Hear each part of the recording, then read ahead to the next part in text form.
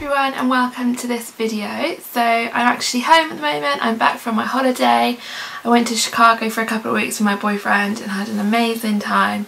I'm so glad to be home now, it's just nice to be home with all my home comforts um, and a nice comfy bed as well. So I'm actually in my room but I've just changed where I'm filming, I'm just filming on my bed because I haven't finished unpacking yet and my stuff is all over my room, it's just awful. So I thought I would just film by here for now and film a couple of videos by here.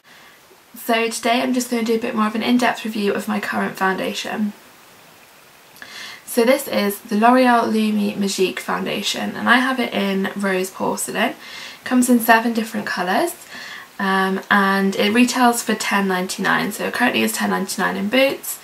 Um, this foundation's got a dewy finish so when you buy a foundation they either usually have a matte finish a satin finish or a dewy finish and this one's a dewy finish so it kind of makes your face look um, a bit like it's got a bit of a glow and that's what I really like. I've got quite dry skin so I like more of a glow to my face and I think usually if people have quite oily skin they tend to go for a matte foundation to kind of counteract it um, but it's totally perfect personal preference. I really like this dewy finish and it's one of the reasons I got this foundation was because of the finish.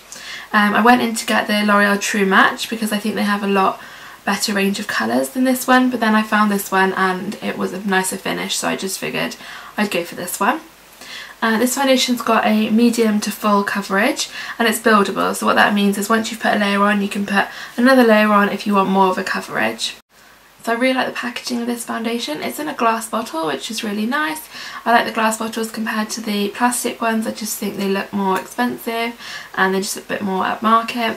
It's also got a nice pump which is really handy. A couple of foundations I bought recently like the Revlon ones haven't had a pump which is just like why would you not put a pump on there? It's so much easier. And it's got a nice colour scheme as well. It's got the gold, the rose gold writing. It's just it all ties in nicely and looks very sort of professional and upmarket. Um, so a couple of tips with this foundation. I use one and a half to two pumps over my face. Now if I'm using a beauty blender or my fingers I'll use one and a half and if I'm using a stippling brush I use two and that's because when I'm using a stippling brush I'll put the foundation on my hand first and I always use a bit extra to account for the bit that sort of stays on my hand that you never really get off. Um, so that'll take about two pumps with the stippling brush. And the stippling brush I use is the one from Real Techniques and um, it's a really nice brush, it's nice and dense and it really you can really buff in your foundation with it. Stippling brushes tend to give you a really flawless finish with your foundation um, because you're really working the foundation into the skin.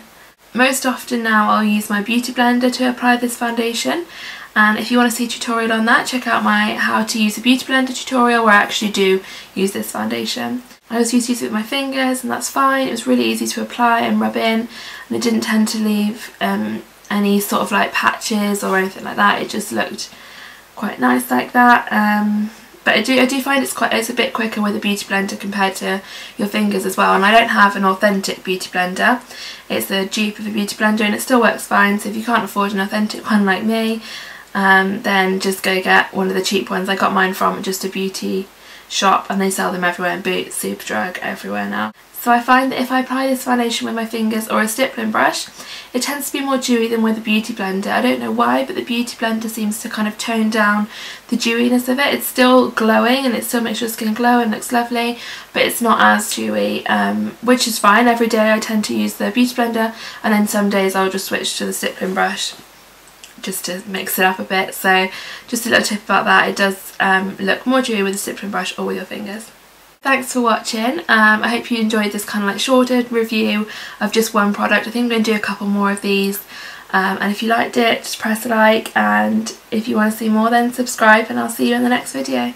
Thanks for watching. Bye.